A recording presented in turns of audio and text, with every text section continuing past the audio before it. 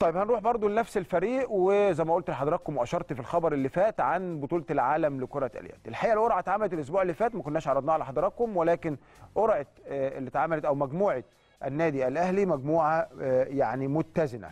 مجموعة بشكل كبير مجموعة ليست قوية وليست ضعيفة. خلينا نستعرض مع حضراتكم ال- ال- القرعة ونتجت عن إيه ونظام البطولة هيكون في بطولة العالم إيه. طيب إحنا الأهلي جيب آه، يعني في المجموعة الثانية مع فريق مع فريق مين؟ مضر السعودي ممثل البلد المضيف ودي طبعا ال- ال- المجموعات. وقع معاه طبعا مضر الأهلي المصري مضر السعودي وبنفيكا البرتغالي. ده طبعا بطل ال Euro League. بنفيكا البرتغالي بطل ال Euro League وده مجموعتنا. طيب المجموعة الثانية آه نادي آه آه آه، ماجدبرج الألماني حامل اللقب ونادي سيدني الأسترالي ونادي الخليج السعودي. وفي المجموعة الثالثة نادي توباتي البرازيلي بطل أمريكا الجنوبية ونادي الكويت الكويتي بطل آسيا ونادي كيلسي البولندي وصيف بطل أوروبا. في المجموعة الرابعة نادي برشلونة الأسباني بطل دوري أوروبا ونادي آه، مينستورس المكسيكي بطل أمريكا الشمالية ونادي الترجي الرياضي بطل البطولة العربية. طب النادي الأهلي اتأهل للبطوله دي إزاي؟ النادي الاهلي النادي الأهلي اتأهل بعد فوزه بكأس السوبر الأفريقي على حساب نادي الزمالك في البطولة اتلعبت منذ أربع آه، شهور.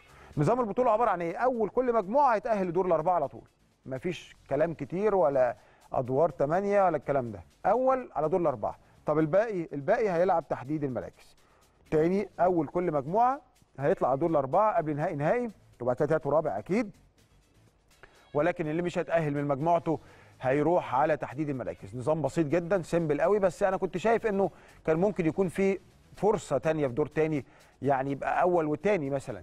انت تاني لاعب أول المجموعة الأولى كان هيطول يعني المباراة مباراة واحدة هتطول البطولة مباراة واحدة اللي هتبقى مثلا دور الثمانيه يعني لو تأهل من كل مجموعة اثنين ولكن يعني فيها شوية يعني يعني ظلم للتاني لأن التاني كان ممكن ياخد فرصة تانية يلعب أول في مجموعة تانية يطلعه وياما حصلت.